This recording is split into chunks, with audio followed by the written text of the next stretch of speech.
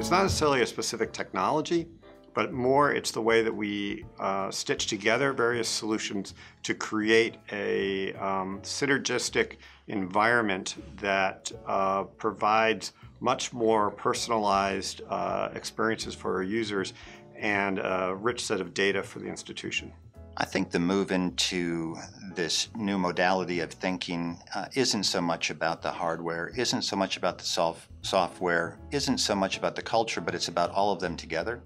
I think there's a symbiotic uh, behavior where innovators will put something in front of us, we'll leverage it, and then we'll ask for more. And that more drives some additional behaviors of creativity and additional innovation.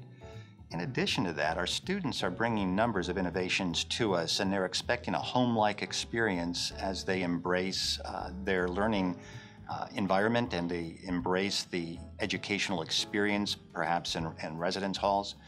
So we're learning that we have to adapt to them as well and, and understand how to leverage and bring all those factors into their experience. One of the things that I think is really central to the next generation of enterprise IT is data. And it's about data governance, it's about the free flow of data uh, between systems and across the institution.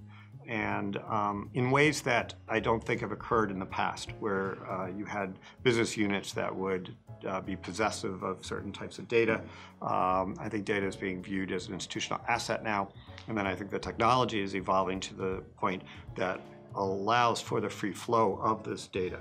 And that's really one of the differences I see in this next generation from where we are today, which is more siloed systems or monolithic systems. I agree.